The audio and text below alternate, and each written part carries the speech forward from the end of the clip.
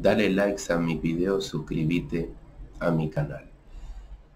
Em, en algún momento de la infancia, cuando somos niños, los adultos, padre, la madre, a veces nos dicen cosas que nos quedan grabadas en lo profundo de nosotros mismos, en nuestro inconsciente.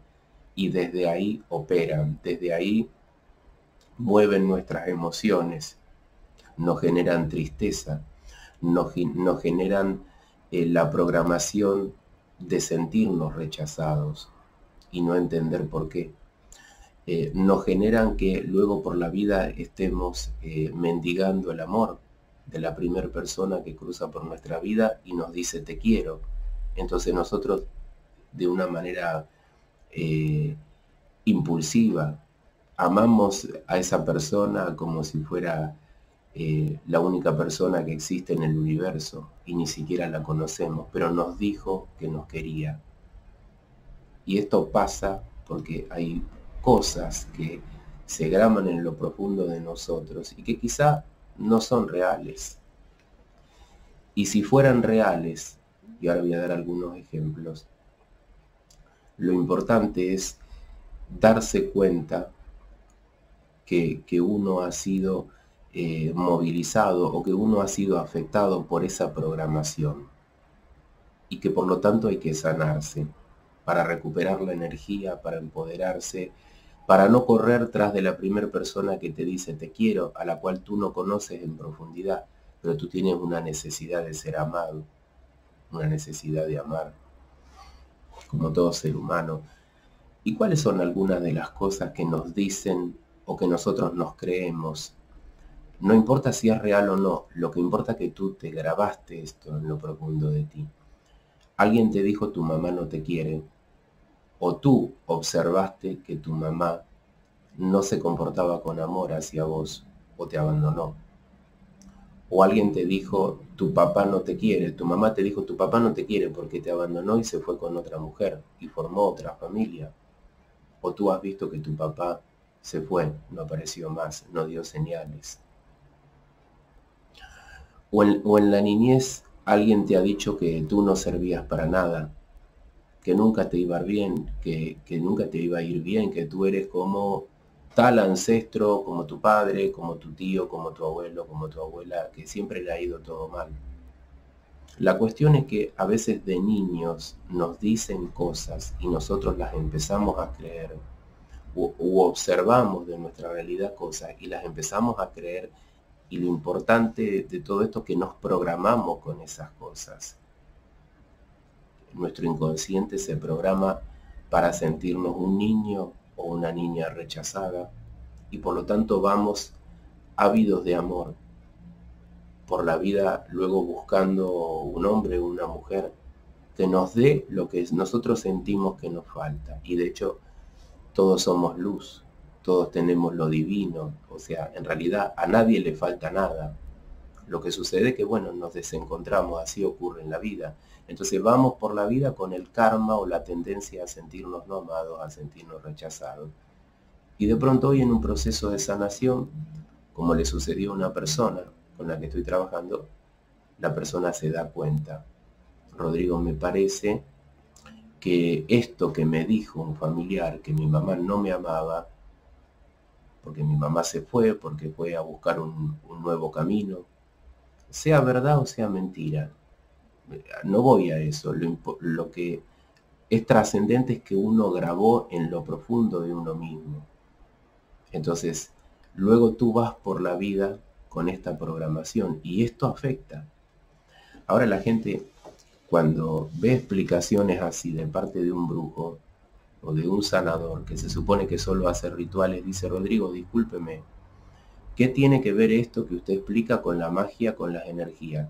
Tiene todo que ver, porque su energía, sus emociones, eh, lo que usted ha hecho en la vida se ha visto afectado por esa programación interna, el sentirse no amado por la madre, por el padre, o te han dicho otra cosa, tú no sirves para nada o el rechazo. Hay niños que no son amados, que llevan una infancia muy infeliz, que se sienten muy rechazados. Entonces, esto va a afectar tu energía a lo largo de toda la vida. Entonces, muchas veces las personas dicen, Rodrigo, en situaciones así, ¿eh? Rodrigo, eh, discúlpeme, estuve viendo sus videos, ya trabajé con varios brujos. Quiero hacer un ritual para traer la prosperidad a mi vida, porque me doy cuenta que nunca he encontrado la prosperidad, el, amor, estar bien en la vida. Siempre he estado, como decimos los argentinos, a los tumbos. Un momento bien, después mal, después bien, después mal, pero nunca he tenido una prosperidad, un bienestar a lo largo del tiempo. No sé si yo tengo algo malo, si me han hecho un trabajo de brujería, hice un ritual, bueno, no me funcionó, hice otro, no me funcionó. Es que quizá este tipo de ritual no va a funcionar si uno no hace una sanación profunda interna de uno mismo y para eso se tiene que dar cuenta de esto que explico yo, de que nos han dicho cosas que hemos creído y nos han programado esas cosas. O sea, alguno dirá, pero es que es verdad, Rodrigo, es que mi papá no me, no me amó porque se fue con otra mujer, nunca, me, nunca apareció por mi casa a verme de niño, nunca me cuidó. Ok, es verdad, es verdad, pero nosotros a esa herida emocional le tenemos que dar amor. Porque si queremos abrir la puerta del amor en nuestra vida o de la prosperidad, pero nosotros no nos damos amor a ese punto, a esa herida, que está en lo profundo de ti, no, desarticulamos esa programación. Eso desde ahí va a drenar. Entiendo que, que cuando pasan estas cosas la gente en muchos casos suele creer, eh, yo creo que tengo brujería, Rodrigo, porque no, no me funciona. No me funciona, no me funciona el amor, no me funciona la prosperidad. Bueno, esto que explico es un punto para tomar en cuenta. Por lo menos hoy lo ha descubierto una persona. Y descubrir esto es empezar a sanar, empezar a liberarse, porque estas cosas son las que después, a lo largo de la vida, determinan que uno elija una pareja tóxica, elija un hombre tóxico, una mujer tóxica, elija una relación de muy baja vibración, eh, cueste abrir la puerta de un amor sano, saludable o de la prosperidad o de un bienestar emocional, tener un equilibrio emocional. La buena noticia es que cuando uno conecta y se da cuenta de esto, puede, puede ser algo doloroso, ¿no? Decir, bueno, esto de que me han dicho y que yo me, que, que, que yo me creí de niño, perdón. Perdón que me, acabo de despertar recién. Esto que me creí de niño ha marcado mi vida de adulto. Entonces, desde el interior, las programaciones que tenemos van a, atraer eventos positivos, negativos, determinadas personas a nuestra vida. Y nosotros creemos que solamente eso es el producto, a veces si los eventos son negativos, eso es producto de la magia negra. Y es producto de nosotros, de cómo estamos vibrando. Hay personas que han desarrollado una sensación de culpa desde niños, desde niña, y esta culpa los ha acompañado toda la vida. Entonces, cualquier cosa buena que les sucede, sienten culpa. Cualquier cosa mala que les sucede, sienten culpa. Hay culpa todo el tiempo.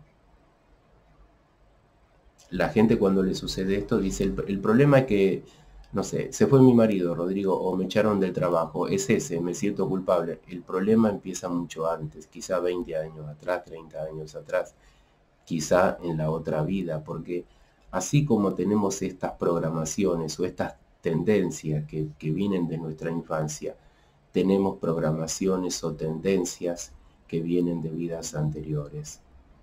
Entonces muchas veces la persona dice, pero yo tuve una infancia feliz, mi papá me amó, mi mamá me amó, no me faltó dinero, tuve acceso a la educación, a todos los lujos, porque era una familia que teníamos mucho dinero. pero me pasa esto, me pasa lo otro, todo lo que usted está explicando, pero en mi infancia soy, fui feliz. Bueno, muchas de esas tendencias son tendencias de vidas anteriores, son tendencias kármicas que aparecen en esta vida. Y si aparecen, bienvenida, bienvenidas sean, porque aparecen para ser sanadas en esta vida. Tú podrías eh, escuchar y pensar todo esto que estoy diciendo y decir, eh, bueno, sigo así, Rodrigo, Vos seguís así, es una decisión, tarde o temprano vas a tener que sanar. Ahora, en seis meses, en seis años, en la otra vida. pero lo vas a tener que hacer porque esto va a seguir apareciendo en tu vida. Entonces muchas de las cosas que nos han dicho nos han programado. Si nos han programado, eh, han, eh, se han manifestado síntomas en nuestra energía. Si de pronto hemos tenido una gran tristeza o una tristeza que nos ha acompañado, quizás tiene mucho que ver con esto. Porque esto moviliza tu energía, si hay una programación así como la que yo estoy explicando. El sentirse no amado hace que las personas mendiguemos amor en cualquier lado, de cualquier persona, que nos metamos en relaciones tóxicas, que no podamos evolucionar, porque no podemos evolucionar si no sanamos este punto. Bueno, espero que sea de utilidad.